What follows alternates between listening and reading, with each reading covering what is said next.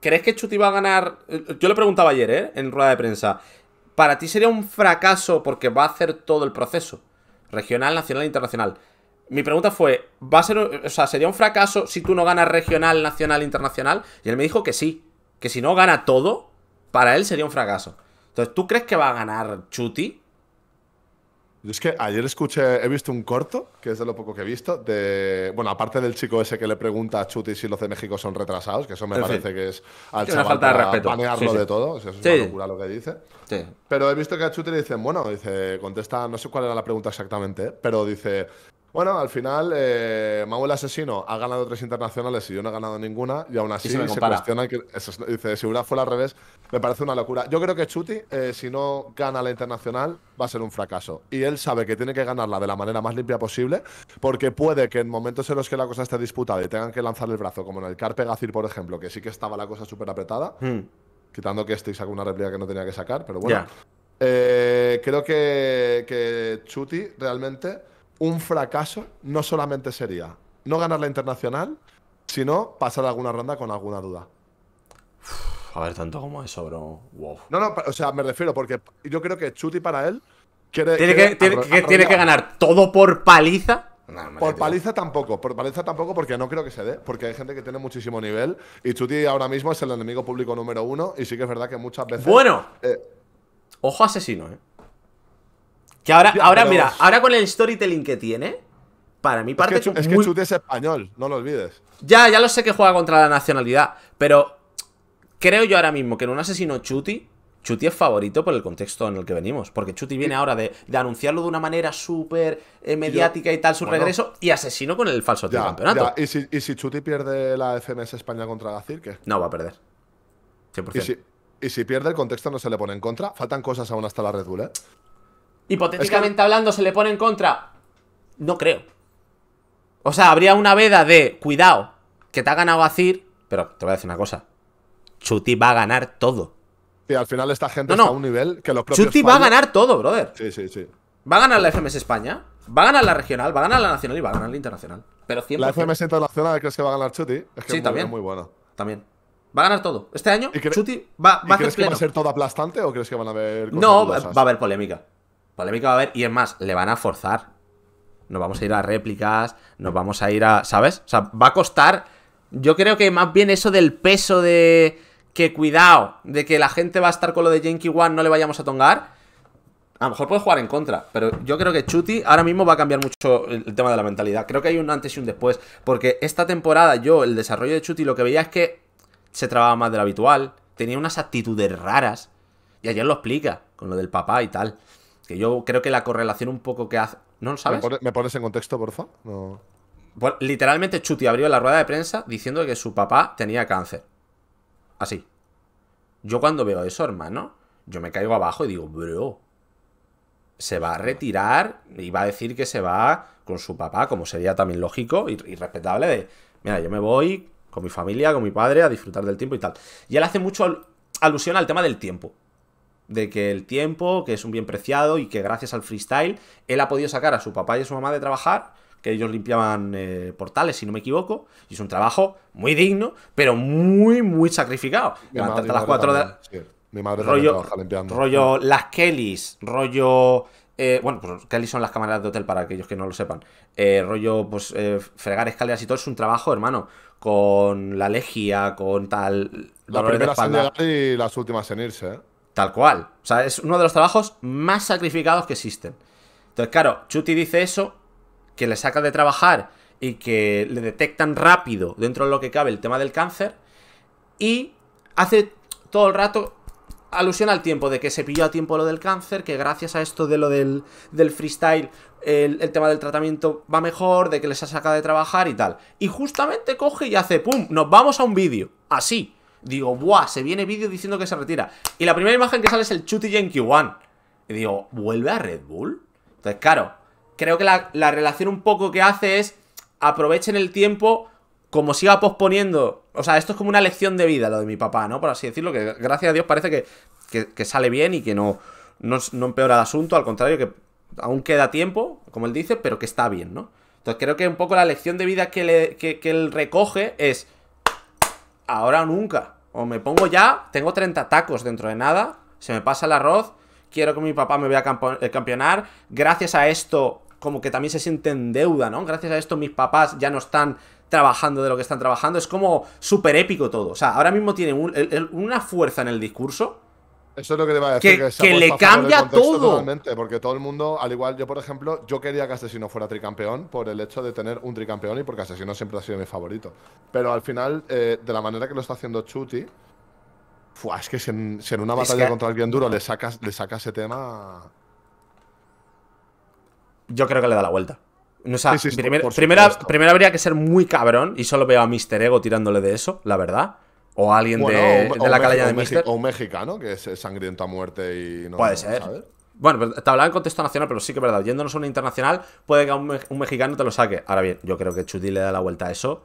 No creo que le saque de sus casillas, ¿sabes? Al contrario, y es más, creo que reforzaría más su discurso. En plan, yo saco a mis padres de trabajar y yo estoy luchando y haciendo esto por mi, por mi familia. O sea, ya ahora mismo el discurso que tiene Chuti es, tan potente. A, mí, por ejemplo, me representa tanto que quiero que gane todo. Sí, yo también, o sea, quiero que gane todo. Yo quiero no que gane sabía, Pero cuando me lo has dicho, me ha hecho clic. De hecho, cuando, bueno, hubo un vídeo tuyo que, que yo vi hace tiempo que decías una frase que a mí se me ha quedado grabada a fuego, tío, y es: Hoy somos la versión más joven de, de todo lo que nos queda. ¿Sabes? Y esa frase se me quedó grabada a fuego, tío. Y es la realidad, es la realidad. Y es tal cual, y es tal cual. Sí, o sea, sí, sí, porque ayer lo eras y hoy lo eres. Y mañana, y mañana aprovecha porque también. Y, y, es un poco, y es un poco lo del chuti también, del tiempo. El tema del tiempo, que es algo que no podemos Me ha recordado por eso, tío. Sí, tal cual. O aprovecha ahora porque cuando, se va a presentar. Yo, mira, con Chuti tenía una entrevista hace dos o tres años, que era el tema pandemia, y le digo, ¿cuándo te vas a retirar? Y me dice, a ver, no me veo con treinta y picos eh, de años batallando. Porque esto es otra cuestión también, el tema de los eh, retiros. eso te iba a decir. Mira, yo tuve una rueda de prensa. Eh, ¿Cuánto coño te retiras? Claro, yo tuve una rueda de prensa con Papo, con Chang y con Blon en la internacional, que me metieron ahí de últimas, y justamente a Blon le preguntaron y le dijeron, ¿hasta cuándo vas a seguir batallando? Y de repente, claro, Blon coge contesta y dice, a mí mis amigos me preguntan muchas veces que hasta cuándo voy a estar yo batallando. Dice, ¿qué vas a estar hasta los 50 rapeando? Y yo les digo, pues no lo sé, porque como es un camino que estamos trazando nosotros, no sé si va a haber al final una, una liga de gente de la tercera edad con 50. ¿Te imaginas? una Kings League, una Kings League que estaría buenísimo. Yo, con, yo en 2016, que ya estaba un poco ya hasta los huevos de competir, tío, eh, yo dije, es que tengo ya 24 años, tío, y, ya. hay chavales, no me apetece estar esforzándome, tío, por insultar a un tío de 17. Y luego es una cosa que me, voy a arrepentir toda la vida por no haber dicho, tío, claro. tenía que haber aguantado y haberme tomado, ¿sabes? Luego no, aparece a, los dos años, se profesionaliza y ya me quedo ya atrás completamente. Y, ojo, tú, que yo te lo he dicho muchas veces, eras de mis favoritos de la época, tío. por el estilo, la borracada, tal, el outfit así, la skin con el, ahí, con el gorro. no rapeaba nadie. O sea, sí que tenía bastante presencia. Sí, igual, sí. Sobre todo, tío, fue la época del parón. Mira, Capo, hmm. por ejemplo, eh, Capo era un tío que en el parón también ganaba absolutamente todo. Jonko me flipaba, pero ya, sí que había Navaja. Navaja, buenísimo. Ah, ese, paro, ese no sé qué nos perjudicó. Porque sí, porque yo creo que mira, a ti, a Babi, a Capo, a Yonko, a Tase, a toda esta gente, el parón les rompió. Nos, reventó. Porque en 2009 es cuando empecé yo a irme a Alicante a la Bad Blues y estas movidas, tío. Buah, flipas. Justo, aquí, justo cuando en Alicante se han hecho tantas cosas. Eh, la primera batalla que fui, fuera de Valencia, fue que hicieron, que hicieron la movida para colar Arcano, que era menor de edad y tal rollo. Bueno, pues, yo fui después, yo fui la última que se hizo, que fue Ah, tú fuiste, claro, tú fuiste más tarde. La última, la última, la última. Sí, sí, sí, sí, sí, siempre me acordaré que estaba en la puerta improvisando con. Eh, estaba con, con Tase. Y luego vino Babi y le dijo Tase a Babi: Tú escucha a este chaval.